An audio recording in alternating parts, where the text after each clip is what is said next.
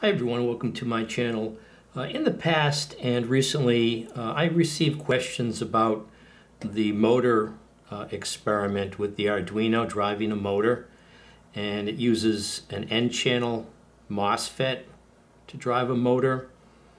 Um, and it's difficult to try to figure out what the problem is um, remotely you know, I don't know how you've wired the circuit.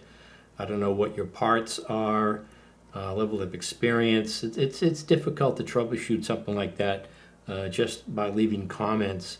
But one thing you might want to uh, do to approach it is simplify the problem by breaking it into pieces. And for that particular uh, motor experiment, we're just turning the MOSFET on and off with one of the pins output pins of the Arduino. So you can take the Arduino out of the equation to just try to get your motor circuit working separately.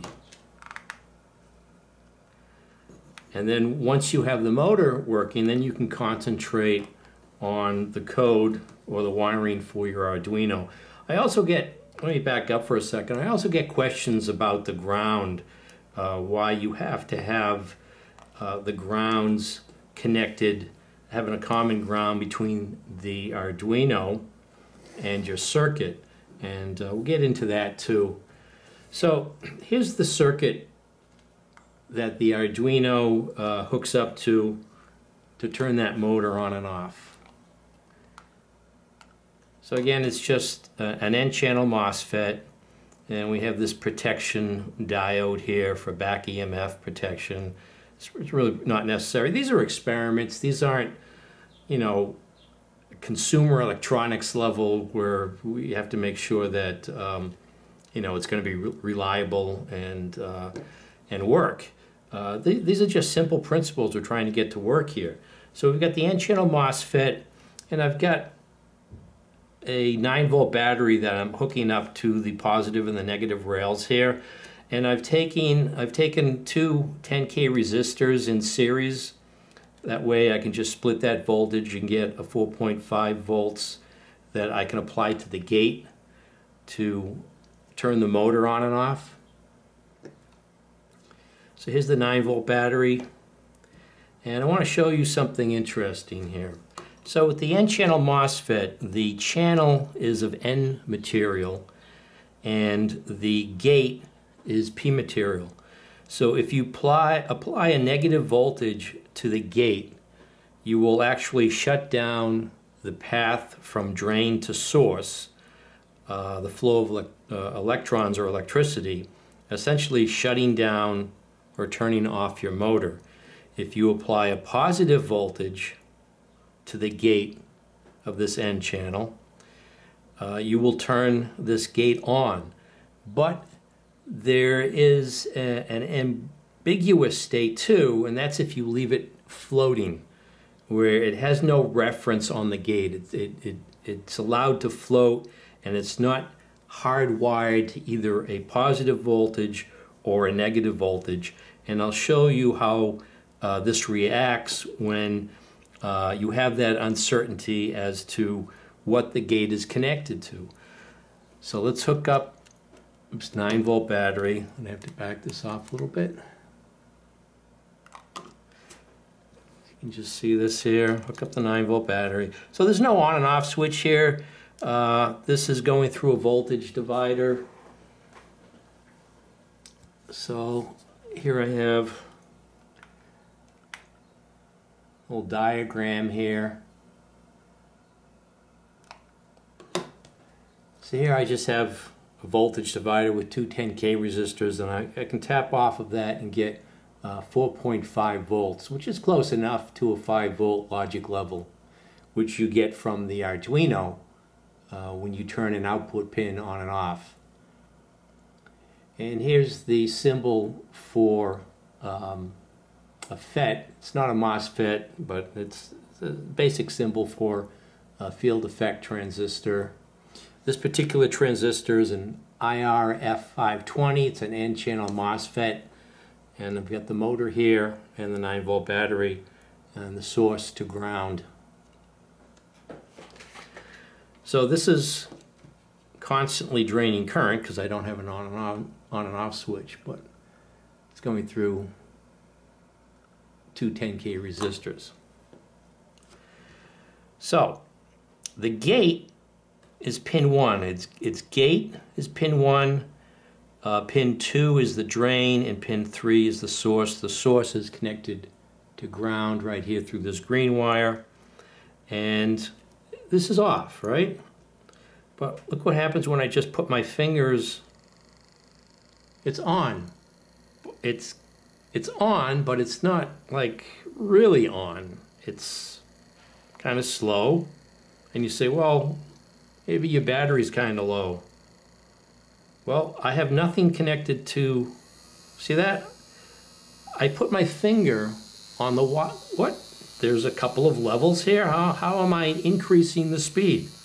I have no variable uh, resistor here or a means of, I'm not pulse width modulating the gate. Whoa, I've got another level. That's kind of odd. So let me take this, the gate here, and put it down to ground. It's off. It's hardwired wired to ground now.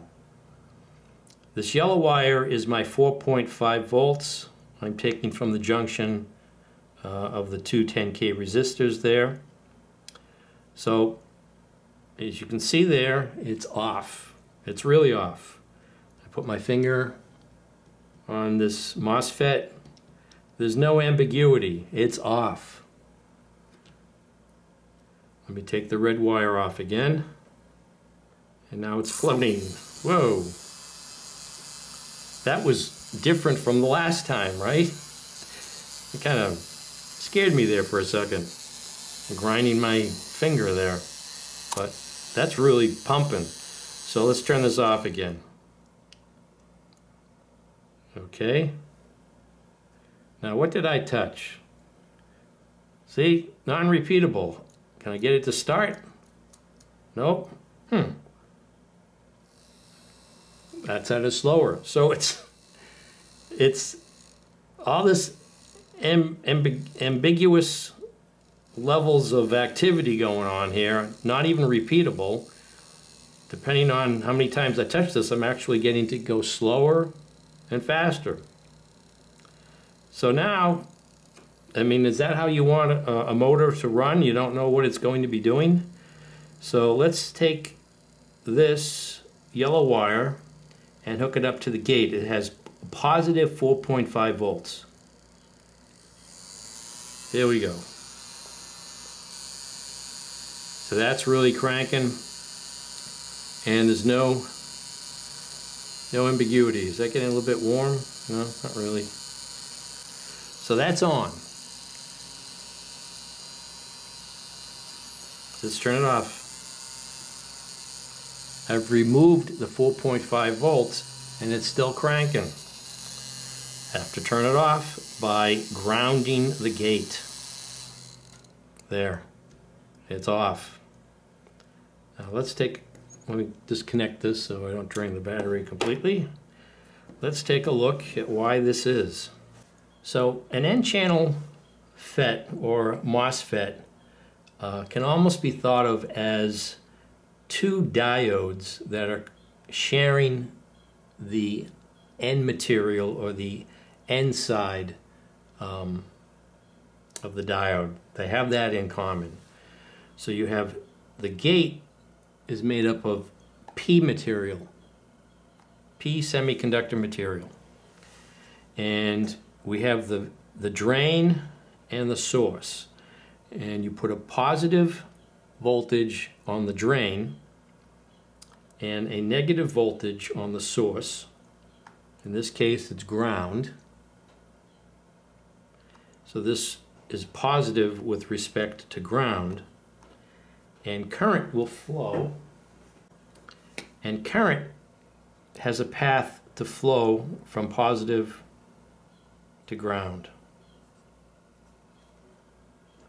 So we can either look at it like that or, I don't know, little electrons flowing down to ground. They have a nice clear path to make it through this N material, which has an excess of electrons in it. So the current can flow without any restrictions. Now what happens is if we put a negative voltage on the gate, a negative voltage with respect to the source, we start to turn off this channel.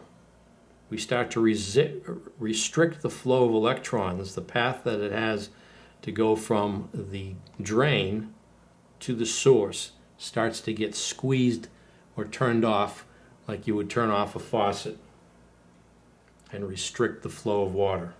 So here we have the same diagram except I'm applying, I have the two symbols for say uh, a battery of a certain value, doesn't matter, it's just in general if the voltage from gate to source is negative, right? A region starts to get developed here that restricts the flow of electrons. And as you increase this negative voltage, this region starts to expand. It starts to expand to a point where it's going to touch and combine and it blocks the ability of electrons to go from the drain to the source. So we have, I'm showing two separate, you know, these are tied together in actuality. It's not two separate batteries that I would need or two separate voltages. But as long as the voltage from gate to source is negative, or the, or the voltage on the gate is negative with respect to the source, this field starts to increase and starts to turn off the ability or the pathway of electrons to flow from the drain to the source.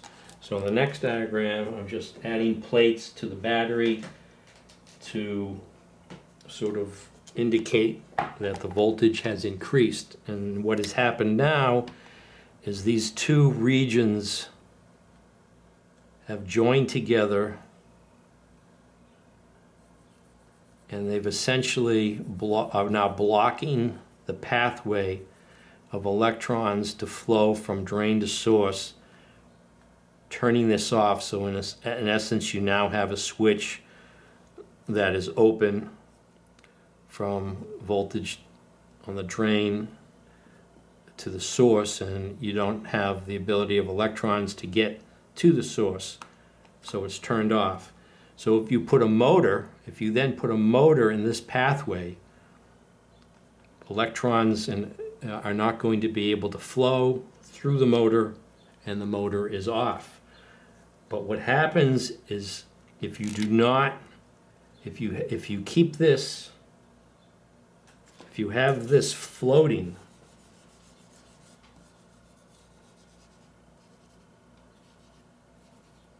if this is just, if the gate is just floating, the voltage on the gate can fluctuate with respect to the source. This, this voltage is just, it's moving up and down. And, you know, even if you get near it, uh, you can get it, you can start creating this field expanding and collapsing. Um, so you have to have your references connected. Um, these two circuits, the motor circuit and the Arduino circuit, have to have the same ground. They have to be on the same page as, as to what ground is and what the reference is. Because if this is not connected, if the ground here is different from the ground here, you can have you know, 5 volts level here and a 0 here on the Arduino. And if you have a 5 volts here and a ground level here, this zero will be positive with respect this this zero can look positive with respect to this because this is lower than this voltage you know? So you have to have between the two you have to have a ground reference that both circuits are agreed to that that is the same. It's the same with the Arduino and the same with the motor. So you don't get this ambiguity. Everybody's on the same page as to what the 5 volt voltage level is and what the zero or the ground is. So, and also uh, to address the, the problem, uh, if your circuit is not working, try to break it up into pieces, into manageable pieces. Put the Arduino aside, work on the Arduino separately, work on the motor circuit. Uh, if your motor circuit is not working, you could even take out the motor, get a diode to work properly. If you can turn the diode on and off, and then you can get the Arduino to turn a diode on and off, then you could step up to uh, building your little MOSFET circuit. And if you can get the motor to turn on and off with the proper gate voltage, and have it off with the gate uh, negative and have it on with a positive voltage on the gate, then it's just a matter of combining the Arduino to your motor and um, you, you should be able to get it to work from that point on. Now remember, you uh, the grounds are very important and the voltages you have to be certain that both circuits uh, are on the same same page when it comes to an understanding of what their grounds are and what the voltages are that they're using. So you don't get this ambiguity. So again, if I unground the gate, start to touch this, it's not at full speed, um, it's on, but it's not completely on. And look at that. It's, it's almost like I have speed control on this. But, and you can see that it's just, you know, there's all types of fields and strange things going on here when you aren't to agreement as to what voltages are, are, are being used. So you have to have a nice solid voltage on the gate. So if I put the 5 volts on here, then I know, well, it's, it's, it's uh, 4.5 volts because it's a um, voltage divider here, dividing the 9 volts. That's on. And it, there's no ambiguity. There's a constant 4.5 volts on that gate. And if I then ground it,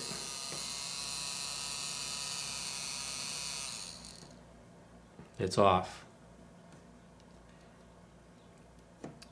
So if you found this video interesting, feel free to like, subscribe, and or comment. Uh, I hope this has helped and answered some of your questions. Thanks for watching.